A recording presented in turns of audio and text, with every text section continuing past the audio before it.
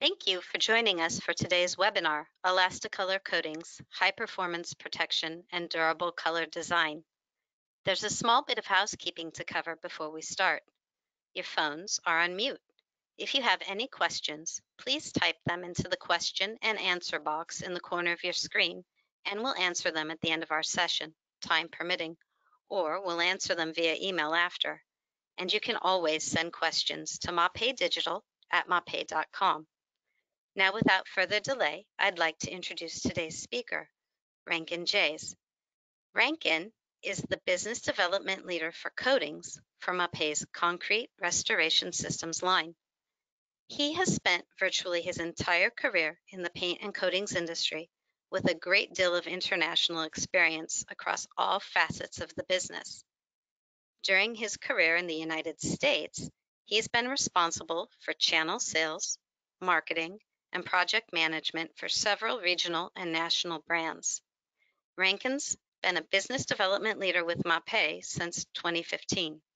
He holds a BS in psychology and an MBA from universities in New Zealand, and we're happy to have him here with us today. Rankin, the floor is yours.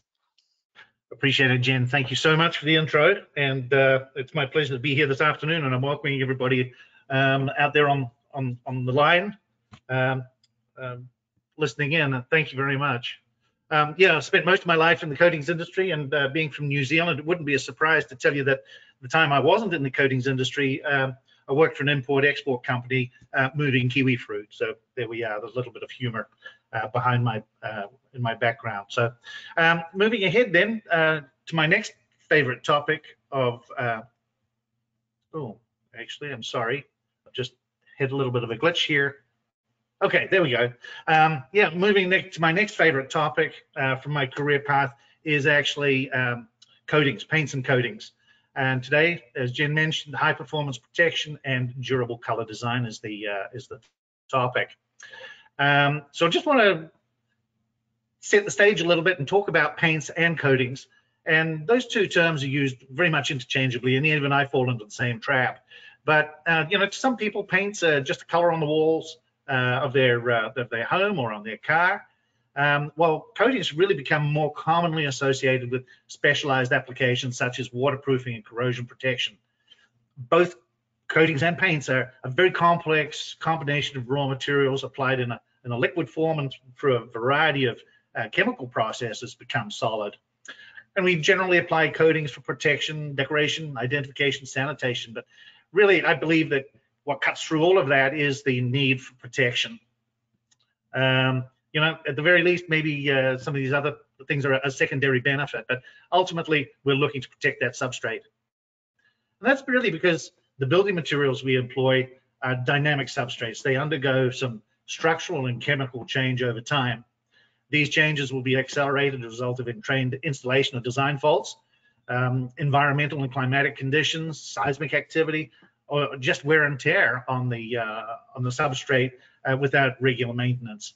You know, we've come a long way with some of these building materials, and we identify that you know steel performs better if we have it um, galvanized at the at the plant, or you see some reinforcing these days with uh, epoxy coating on it to um, retard the corrosion as it's set in concrete, or even the uh, the concept of um, pressure treating lumber or or glazing brick, all intended to help promote the uh, the service life of these materials.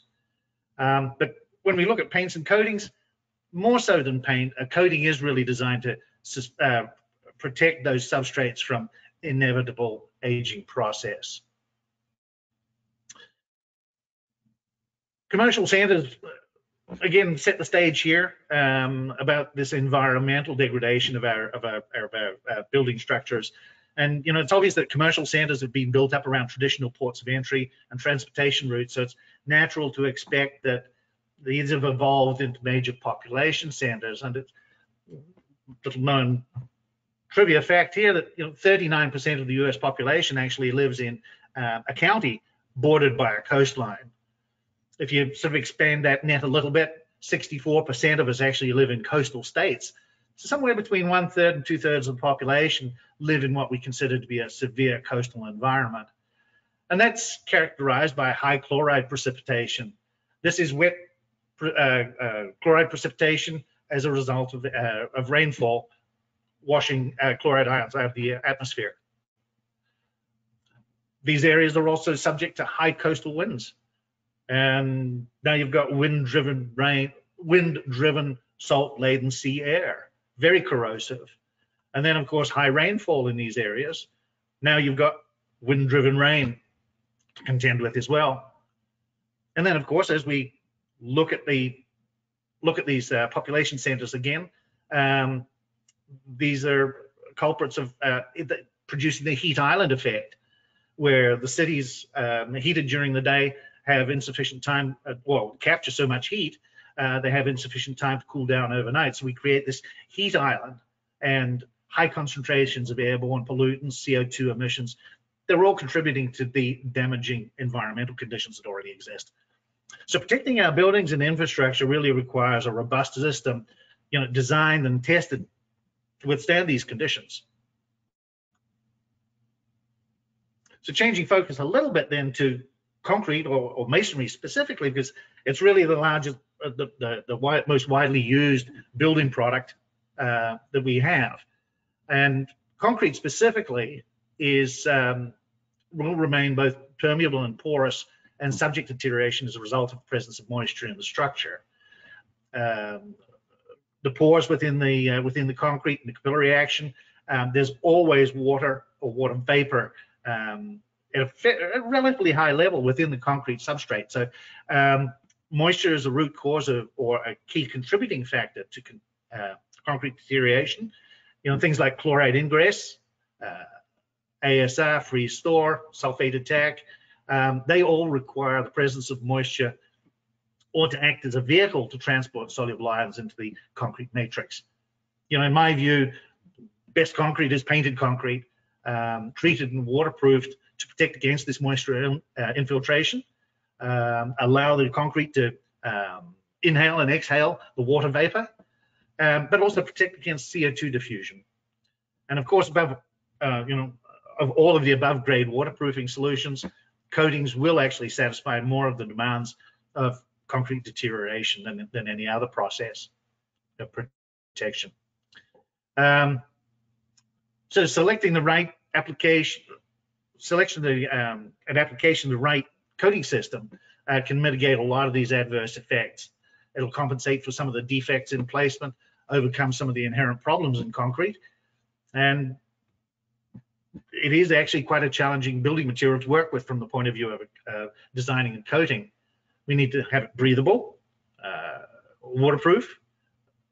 We need to um, have it produce the ability for it to bridge cracks.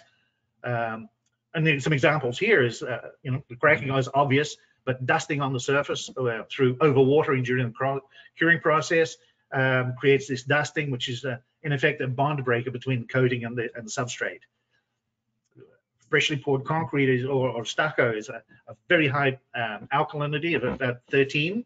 And um, without the right product applied, you can end up with alkali burn where the uh, certain elements within the, the, the uh, paint formulation or coating formulation can be turned to soap as a result of that very basic environment.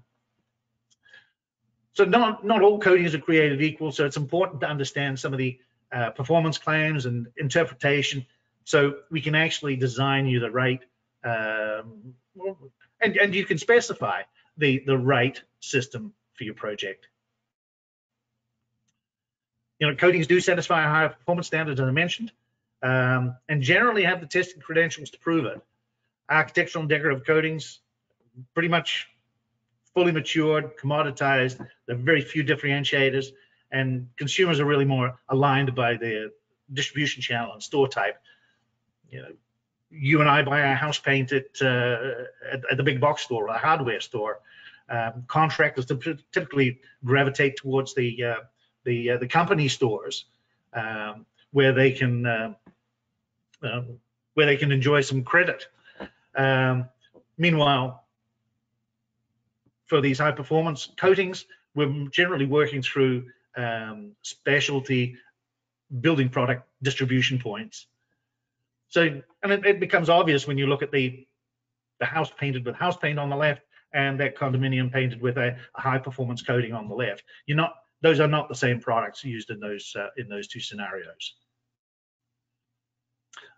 But having said that, paints and coatings do actually, they're, joined at the hip. They are, uh, they're, they're actually formed on the four same basic principles.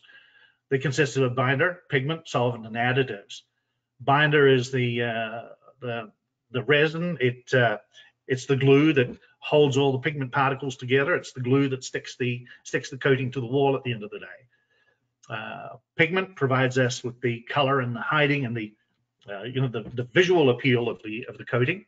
Uh, we can use it to control gloss and sheen, um, and we can also uh, tweak pigments to impart certain performance and application attributes as well. Meanwhile, solvents are our vehicle. You know, in a water-based paint, the vehicle is actually water, and this obviously flashes off as the coating dries or evaporates.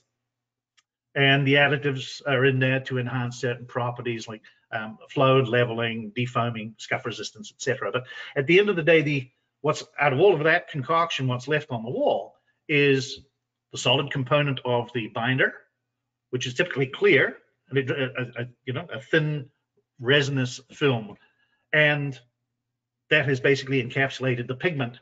So those are basically the only two things left on the wall after the paint's dried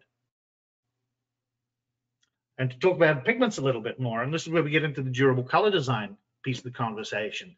Uh, primary pigments uh, provide the color and the hiding and provide the coating with the opacity uh, necessary to hide the under, underlying substrate. Titanium dioxide is the biggie.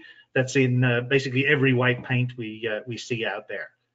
Colored pigments, by contrast, are classified as organic or inorganic, depending on the chemistry, and incorporated into coatings as a powdered form uh, during the uh, manufacturing process or as part uh, or as a uh, liquid dispersion that we see them squirting from a tinting machine into into the can of paint at the uh, at the point of sale. I'll make the point that there are probably very few manufacturers out there these days that will actually um, grind uh, powdered pigment and use that as a dispersion um, at the factory on the factory floor. You know the the the inventory well, the, cost of the inventory really and sales really don't support holding that inventory of ready mix colors. So uh, generally speaking, you know, I'd say 99.9% of our, our paints we see in the marketplace these days are all tinted at point of sale. The organic colors, colorants are generally uh, brighter colors. They have poor durability and uh, generally poor hiding power as well. Um, through no fault of the manufacturing of the product, but that's just nature of the pigment. Inorganic pigments are uh, generally derived from uh, metal oxides and produce the um, light, uh, more uh, light stable earth tones, or, or oxides. But unfortunately, the uh, you know our, our, our, our commerce uh, utilizes a lot of these organic colors um, to to highlight their to highlight their buildings to um, invoke certain emotional responses from us as well. Um, and it's these colors, and, and I know you've, you've you've probably heard people talking about, oh, that red doesn't hide very well, or that yellow's very poor, or look how it's faded over time. These are these are perfect examples of those applications, and and and obviously presents a challenge to the coatings manufacturers paint and coatings manufacturers to how do we combat this and how we how do we combat that stigma of having a, a poorly hiding product or a, a poorly fading product. So there are a couple of couple of things, but paint manufacturers will seldom support the use of these colors. Um, if you look at their fan decks, um, you'll see that they're making specific exclusions because of the sensitivity of some of these pigments. They'll say, hey, this is just for inside use only or not recommended for exterior use. Um, and that's largely because these point of sale liquid tint systems are a cost performance compromise. There are a lot more durable um, uh, pigmentation options out there, but the cost of installing those across 5,000 tinting machines, if you're if you're one of the national paint companies, um, just to have it used occasionally, it just doesn't make sense. So what we try and do is have a you know, have a compromise, have find that happy medium where it's not going to cost us an absolute fortune to tint somebody's red paint if they're not going to be doing a, uh, you know, well, painting the whole firehouse, for instance. Um, commercial coatings manufacturers, by contrast, and as I said earlier, we don't have as many distribution points that we would have to um, populate with with those high cost colorants. So we, as a, as a commercial coatings manufacturer, can take extra steps to offer more durable solutions with higher cost inorganic solutions. And I'll, I'll show you, give you some examples here.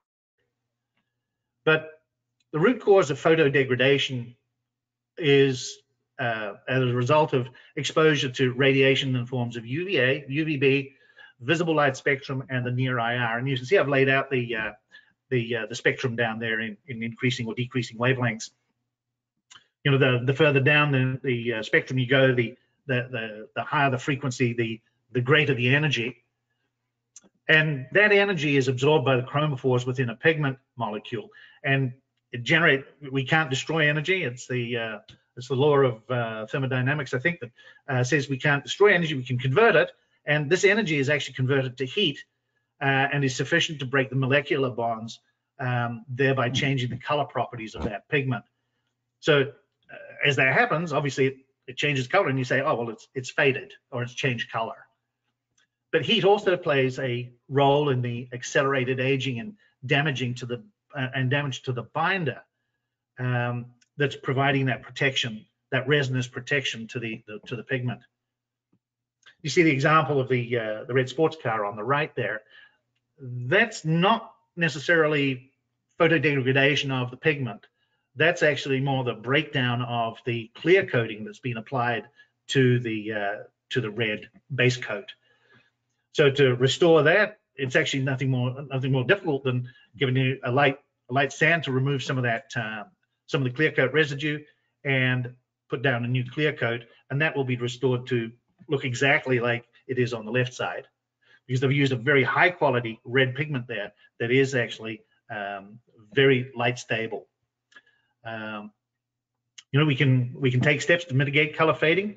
Um, UV inhibitors, for example, in a, in a clear coat like that, in a clear coat situation like that. And then, of course, um, choosing inorganic colorants or, or, pigments over the organic pigments. Um, and a, a, higher sheen finish also helps with that uh, with that durability.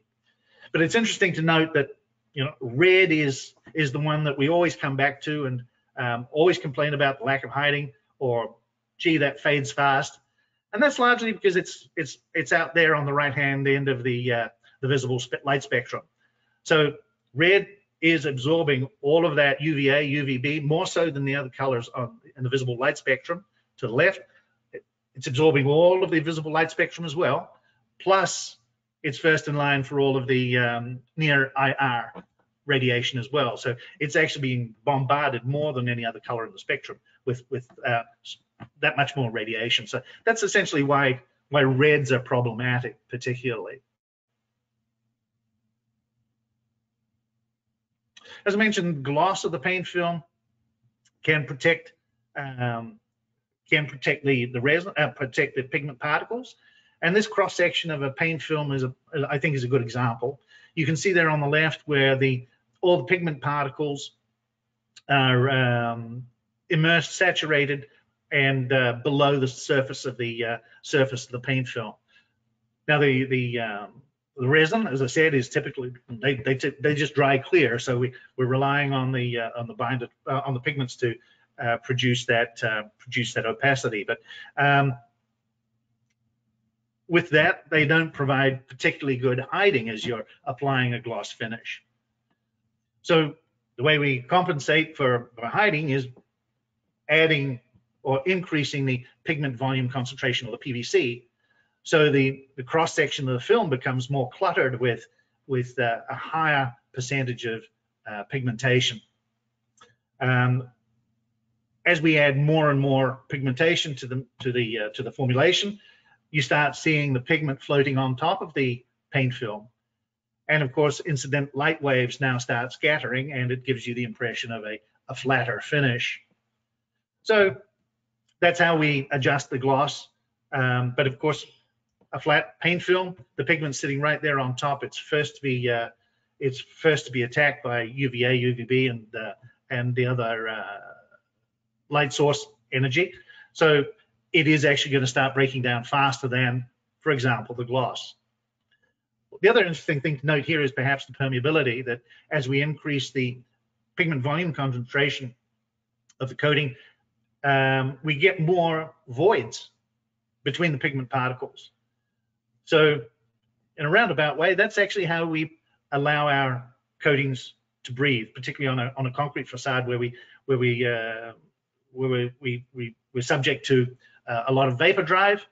Um, a flat coating is going to provide provide you a lot more of that um, breathability to the coating as opposed to a, a gloss finish. So that, that's a, a, nice little aside there in terms of uh, the advantages of having a, uh, a high PVC product. Going back to our red examples for a minute and uh, talk to you a little bit about why, uh, or what, what's, what's entailed here.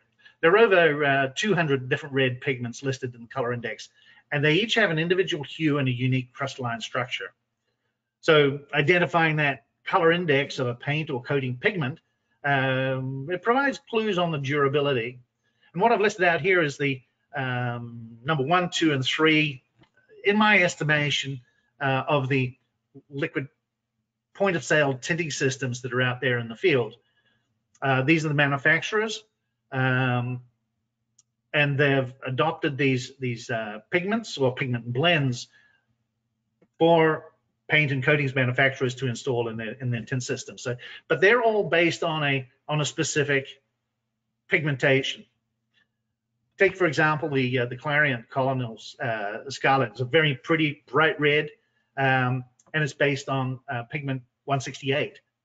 Um, fairly good solids, but provides some very good light fastness on a on a on a on a one to five scale. Um, but this is where we we we run into the problem with reds is that it is actually quite it is quite transparent or semi-transparent. So the multiple coats required. And we've heard that oh you, I need to put three, four, five coats of this red on for it to cover. Uh, and th this is partly the reason you know, the next on the list there is um, Nova Color. This manufactured by ColorCore uh, in the US. Unfortunately, they're um, not giving us a lot of clues. They're just telling us it's a blend of some certain pigments. So we don't really have a good handle on how well that hides. And they'll be pretty upfront and tell you, well, it's it, it's it's probably the best one out there. Well, the best one out there is actually the one at the bottom. If you look at PR 254, um, and it should be, uh, well, it might, might come to as a, a, bit of a surprise that that's also referred to as Ferrari red. Um, and that, that is actually for, for a stated reason. That was that pigment was actually um, synthesized. I'll try that again. Synthesized for uh, Ferrari. It is a uh, it is just the best um, red pigment colorant, um, which is excellent light fastness, and semi-opaque. So this is going to give you the, the best hiding possible of any red out there. So unless, you know, it's pure pigment 254, nothing else is actually going to match up to that. So I'm sorry, that blend that we're talking about a couple of lines up um, is not going to give you the best the best performance of any red other than 254.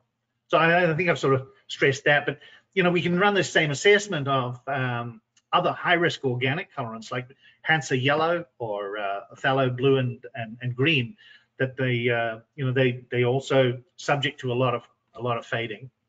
So, you know, it's important to sort of understand this and uh, appreciate the fact that coatings manufacturers can actually uh, dial this in a lot better than um, the, the, the mass distributed paint lines out there.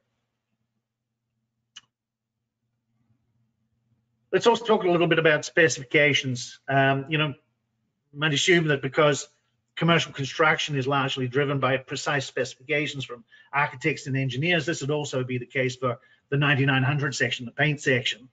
Um, but you know, may, maybe not, um, because there are some other um, other issues there, and you know, we're not really talking about a structural element of a uh, of a of a building of a building. It's it's the facade coating, and really where uh, I think a lot of people are more interested about the aesthetics rather than the performance. But um, you know, the number of factors that sort of confound the industry, and uh, you know, one is specifications. Um, it's it's from from my point of view, it's um, it it is confounding because um, paint companies have more or less inherited access to commercial uh, commercial coatings market.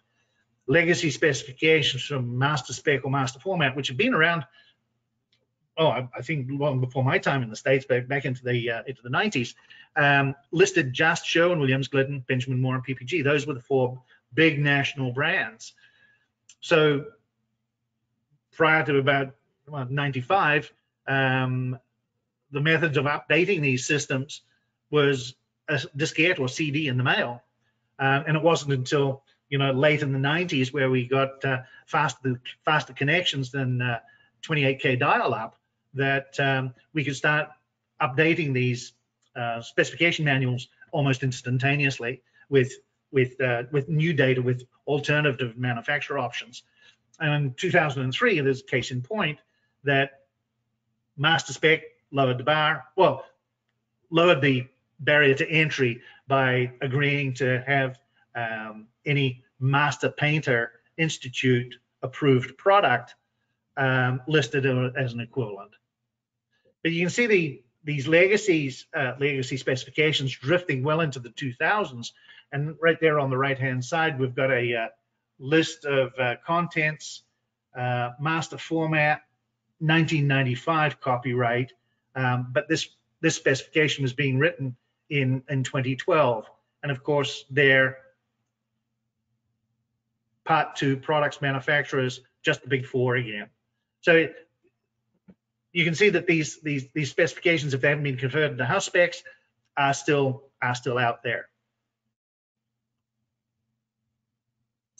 Here's, here's an example where MPI have been allowed to uh, be included as a as an equivalent with uh, with manufacturers listed on the MPI approved products list uh, for uh, this uh, this restoration in Miami. Um, but equally, that excerpt I have there to the right, residential products are not permitted.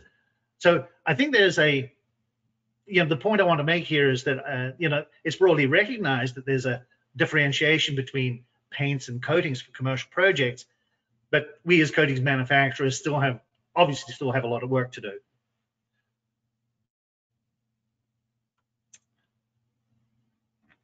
There are actually no unifying regulations within the coatings industry uh, to maintain quality standards.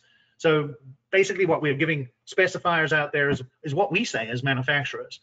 You know, federal regulations focus on health and safety, consumer environmental protection.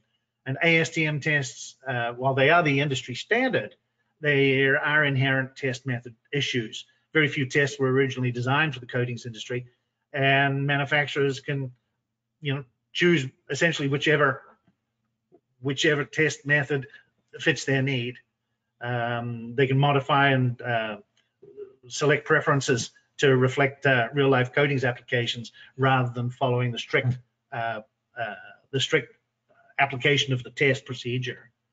And I'll show you some examples of what I mean by that.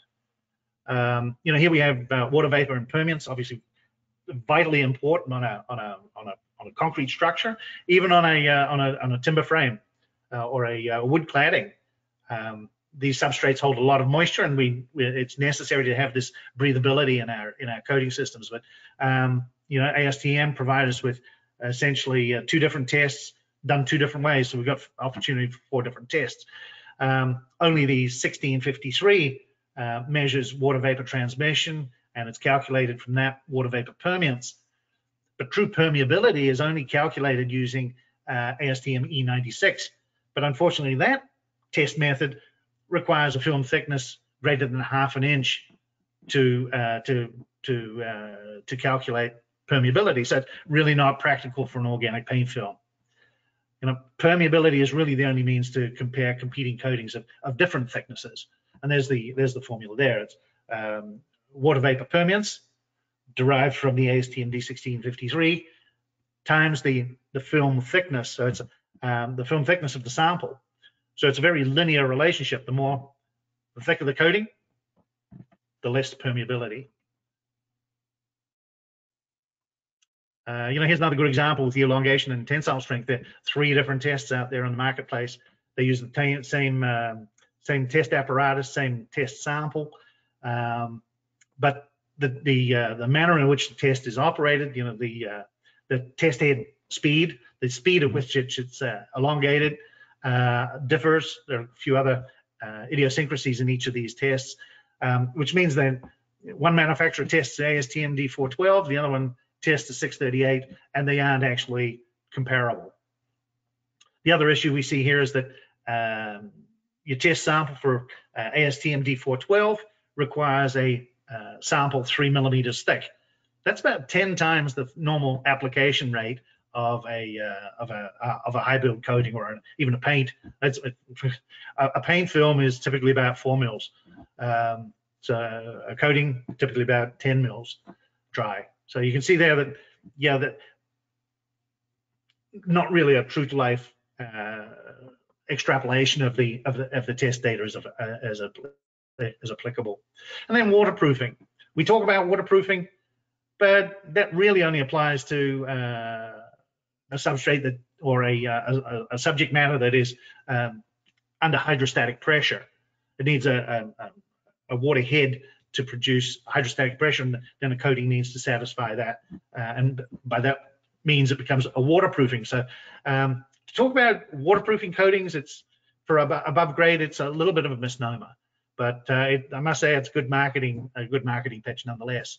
Um, so what we really are talking about with facade coatings is um, weatherproofing or damp proofing, and that's where the wind-driven rain test is uh, is applied. And this just deluges your uh, test sample for 24 hours to simulate 98 mile an hour wind velocity. Um, you know, a good um, you know uh, a good breeze down here in Florida during hurricane season. Um, you know, and it's uh, a very very much a subjective um, test method um, and not not a not a very good method for uh, comparing product. Simulated accelerated test weathering is awesome because it's it's really our uh, the automotive equivalent of our you know the crash test dummies. We we put samples out there um, in accelerated weathering chambers, um, cycling them for thousands of hours, uh, trying to duplicate um, real life conditions. Unfortunately, not not all failure modes are replicated.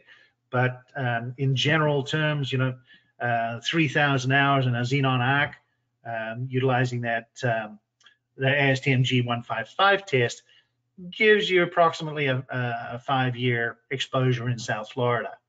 But unfortunately, some manufacturers, once again, are, are publishing outdated um, outdated uh, test results or test credentials. And you can see there that these two examples were drawn 19 years ago. And I know for a fact that uh, these two manufacturers have rewritten their data sheet. So why haven't they updated their their test procedures and test methods? So whereabouts are you going to find all this information? It's it's right there on on uh, on manufacturers' test uh, tech, technical data sheets.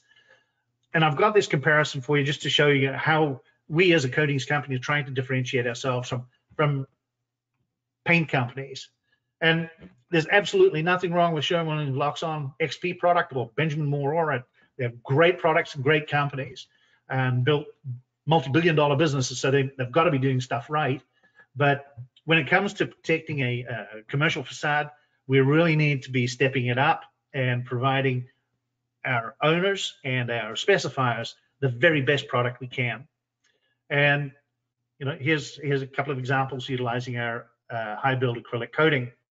Um, we've gone to ex uh, an extra length to partner, well, not actually partner, but to sign on to the Sealant and Waterproofing Restoration Institute's um, uh, product validations, um, where a third party lab is used to validate our test data. That what we've written on our test data sheet has actually been validated both by SWRI and a third party um, testing lab. So, you know, we, we can demonstrate here that we have higher perms, uh, um, very high perms relative to other, other coatings in the marketplace. Um, it will say, well, hang on a minute, Rankin, uh, what about 31.7 perms at, um, from Benjamin Moore? Well, that was actually applied at, uh, tested at 2.9 mils, um, three times less the thickness than Elastocolor coat. So, um, as I mentioned, permeability is a linear relationship between film thickness. So no, actually, Elastocolor coat has better permeability per millage thickness. Uh, again, our, our, our, tensile strength and elongation has been validated uh, by, by a third party. Uh, wind-driven rain, um, I can tell you that, uh, again, looking at data sheets from our competitors, um, they actually show you the go to the lengths of actually saying what's what the coating system or paint system is required to pass this test. Sherwin Williams said it's a two coat system. Benjamin Moore said it's a three coat system. So by utilizing a coating in this instance, if wind driven rain is, is one of your hot buttons, we could actually save you a, a lot of labor by utilizing a high performance coating rather than the, rather than the paint. Crack bridging, concrete cracks. Sooner or later, we know it's going to crack. So it's vital again to have a uh, have a product that demonstrates its ability to bridge these uh, static and dynamic cracks um, to provide you that continuous waterproof or, or weatherproof um, membrane across the facade. Change it up a notch. Okay, we've got some competition in the coatings environment now with BASF and Sika. Also great companies, great products, um, fearsome competitors, and uh, we, we go head to head with these guys every day. So, um, you know, again, looking at the comparison and, you know, I will say that BASF and Sika, particularly in the in the coatings area, have done themselves a disservice by by not maintaining their their tech data. Um, we're offering a, a, a higher permeability, um, you know, let's say equivalent elongation. But what we can trade up to here is the fact that we've um, we've had ours independently tested by a third party. So uh, you don't need to take our word for it, as opposed to our competitors. Uh, wind-driven rain, and, and, it astounds me that we're the only one within this this group of uh, three manufacturers to actually offer this information. Again, I, I think understanding the environmental conditions we're trying to protect against, why wouldn't you have this test? Uh, again, accelerated weathering, um, you know, our competitors that, uh, or still using test data that's uh, 19 years old. And you get the idea that, you know, we, we've done our homework, we've done, done uh, extra, gone the extra mile to produce um, to produce some uh, some really good performing product. Um, and then I'll just gloss over that. There's their uh, their data sheets, uh, just to just to prove the fact that they have the opportunity to update but have not. So, out of all of this, you know, where where do we go to for for for more information on on paints and coatings? Well, the industry has been wanting for standards, as I said. So Master Painters Institute, um, uh, it's a, mem voluntary membership, uh, can require some considerable financial commitment, um, but it has been adopted by uh, many of the uh, uh, government departments, um, Department of Education, Defense, and also adopted by Master Spec, oh. as I showed you in the example earlier. Um, they do uh, they do have a, their own test criteria, although the the the bar height is not a, not a stretch. It's not very high. Um, meanwhile, SWRI, uh, Seal and Waterproofing Restoration Institute, it's an international trade association that's represented by uh, probably the best qualified contractors and design professionals in the industry.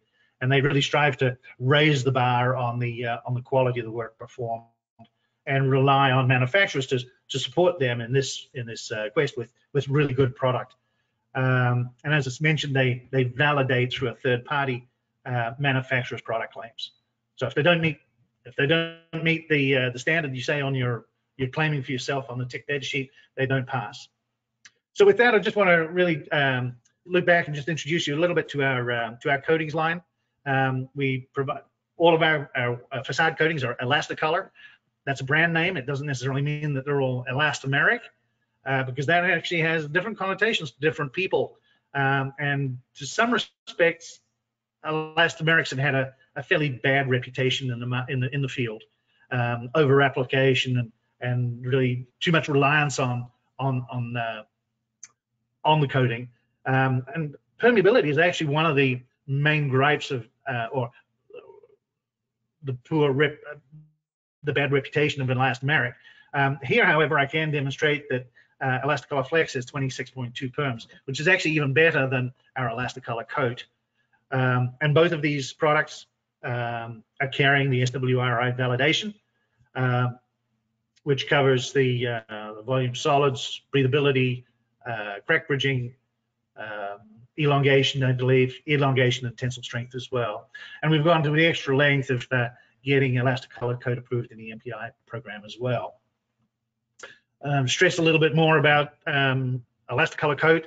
Um, I've, at the risk of sounding like a Tom Selleck commercial, um, this isn't my first rodeo. Uh, I've been in the industry a very long time, and um, the work we've done with Elastocolor coat um, is is exceptional. Um, on paper, I can prove to you that this is the best product in the marketplace today. Um, there, are, there, there are very few comparisons that would uh, would hold a light to this, and for that reason, it has really become our our workhorse program. Um, and here's some examples of some of the uh, larger projects we've worked on. But I want to point out specifically the the three color applications there, um, bringing into the conversation the uh, the slides I was discussing earlier about um, the reds and the yellows, the blues and the greens, how paint manufacturers will preclude these from being applied or dissuade you from using these in exterior applications. However, we've got the knowledge and the um, chemical aptitude to be able to uh, tweak our formulations, control that distribution, and provide you with these vibrant, high intensity uh, organic colors, red, yellow, blue, in, in very high um, UV scenarios. Elastocolor paint is uh, more of a, an entry level or a price point. It's um, designed on the same resin package as Elastocolor coat. Um, still very high performance product, but really more for that uh, maintenance um, uh, maintenance application or where you want to convert a brand or they, they, perhaps the building's up for sale or something like that. Elastocolor texture, very attractive, um, uh, very attractive uh, textured coating, um, very useful in, in employed where uh, we've conducted some uh, facade repairs and we want to obscure some of those surface imperfections as well. Uh, our primers consist of a, uh, a clear primer sealer surface conditioner, um, promoting adhesion, um, over late dusting surfaces where we've got some of that uh, dusting I, I, mentioned earlier in the uh, earlier in the presentation. And then Elastocolor Primer AR, which is uh, alkali resistant pigmented primer. This will resist alkali conditions up to pH of 13, which is freshly poured concrete. Um, we can coat over um, hot stucco in, uh, in as little as three days or go over poured in place concrete in 10 days. It's tintable to approximate the uh, approximate the color of the, top coat. So you've got that you've got that additional depth of color right there. Um, and then briefly, our, our project services, we're in terms of the coatings, we're more than happy to come out and write um, observation reports detailing current conditions of a building, recommendations for repair methods, products and specifications. Um, we, we will, can produce color renderings um, to give you an idea of what your project is going to look like after the application of the coating. Um, excellent color matching capability, as a, and I, I, think I've uh, sung the praises there pretty pretty heavily that uh, we can literally match any color. We've got very fast turnaround on samples and production, technical advice on product systems and uh, specific application techniques as well. Uh, we can provide you with uh, applicator referrals if if you need that. Um, we can support you with practical on-site product mock-ups, samples, installation training, you name it. We're, we're there to help you. Um, at the end of the day, we want you to be satisfied with the, the decision you've made and that we're doing our bit to help you protect your investment. And of course, we do that and also in writing by um, providing um, a competitive warranty program with all our products, or we can uh, individual product warranties, or we can provide a full single source system warranty, which includes sealant, concrete restoration products, and, and coatings. And talking a little bit, last slide, about our project solutions. Um, we can provide concrete protection for uh, embedded steel reinforcement, concrete repair mortars, uh, obviously the protective and decorative coating systems, which I've been talking about in our, in our Elastocolor line, uh, sealants, crack repair materials, you know, which includes uh, epoxy injection or uh, closed cell polyurethane foam, uh, waterproofing, um, waterproofing systems uh, above and below grade, um, structural repair with FRP systems, and even parking deck parking deck repair and epoxy polyurethane um, uh, traffic systems as well. So that, uh, that that's basically us in a in a nutshell. Um, I hope uh, I hope the information was was helpful, informative, um, and uh, you know it's been been ab my absolute pleasure to be here today. Um, thank you all very very much for attending. And if you have any questions, I'll be uh, I'll, I'll do my very best to try and answer them. Okay, thank you, Rankin. Uh, we do have a question here. Which would be better for color durability, a base coat and a clear coat, or a high gloss paint finish? Okay, uh, some pros and cons on either side of that. Um, maybe influenced a little bit by the uh, the substrate, um, but I think um, a concrete substrate particularly would be uh, better suited with a base coat clear coat system. And the reason I say that is that um, number one, we'll get to the color faster with a, high PVC coating, high solids. Um, so we can, uh, yeah, so we can build that build that film so it, it hides better. Um, it has all the permeability we need. Uh, and then we put a clear coating on top. So then there's only one sort of low perm, uh, low perm piece in that system. Um, you know, color is probably better built up over, uh, color is better built up in and faster in a flat finish because of that higher PVC. Um, you know, successive layers of a, of a high gloss paint, um, you know, they're all very low perms. So that's a cumulative effect. And I think that would be, that would be uh, detrimental. I think a, a base coat clear coat finish would be, would be more suited. Okay. Uh, next question.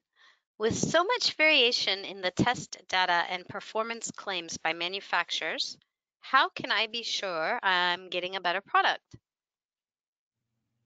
Hmm, um, good, great question again. Um, you know, it'll take a, a little bit more time to delve into some of those, uh, some of the data manufacturers have presented. I've been doing this my, my whole my whole career, so I know what to look for. But um, you know, by doing that, you can reveal some inconsistencies in what they're saying through the data. But um, I think it would be reasonable to ask your uh, your paint and coatings rep um, for independent proof of their product. Um, and what, what, makes it better than competitor B?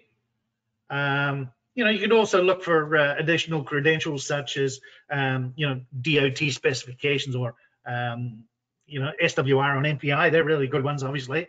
But um, you know, just see um, see how often that that uh, that that coding specifically is being being specified, and you can do things that on um, you know applications like uh, Insight, or I would imagine even something in within uh, Master Spec or uh, Master Format if you have access to that. Okay. Uh, looks like the last question. How do you address the last the lifetime warranties offered by some paint manufacturers? Hmm. Yeah, it's um, it's it's it's sad that uh, you know paint manufacturers have resorted to trading on life expectancy of a of a of a, of a, of a paint.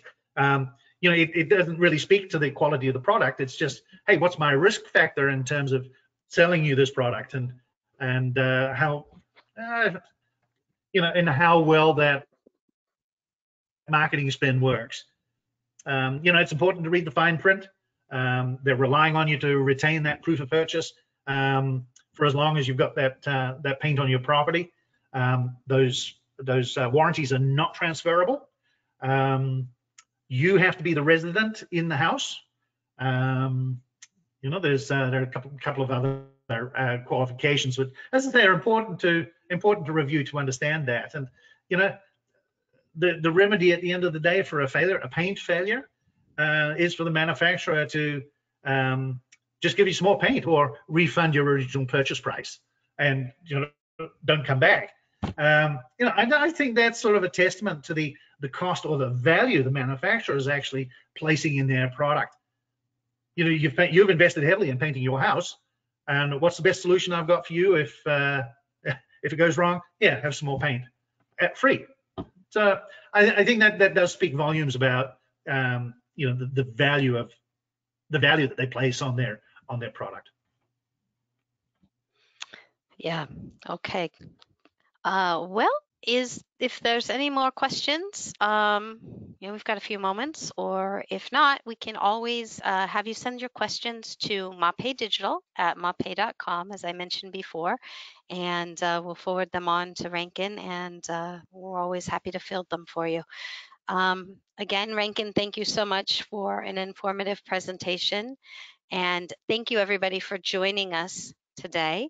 I guess this will conclude today's webinar. Um, again, we appreciate you spending time with us today out of your busy days.